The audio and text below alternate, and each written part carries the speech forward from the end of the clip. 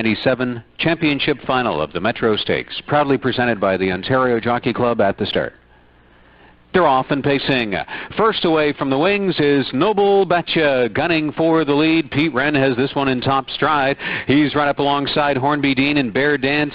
Bear Dance along the inside, sent through. Uh, Give Me What I Need follows through to get in a spot in the top four. And Live, Love, Laugh crossed over neatly to be in fifth. Shotgun Scott is out of there in sixth. Memphis Flash off stride from seventh. And Rustler Hanover, Piece of Art.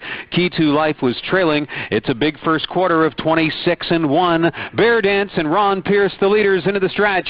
In the 10th annual Metro Final, Shotgun Scott is taking aim on the outside, and Piece of Art picks up third. Rustler Hanover to the outside, fourth. Shotgun Scott Campbell taking over the lead. Piece of Art on the outside. Rustler Hanover, Paul MacDonell has this one flying on the outside. Rustler Hanover with Piece of Art to the finish. Rustler Hanover off 152 and 3. Rustler Hanover and Paul MacDonell.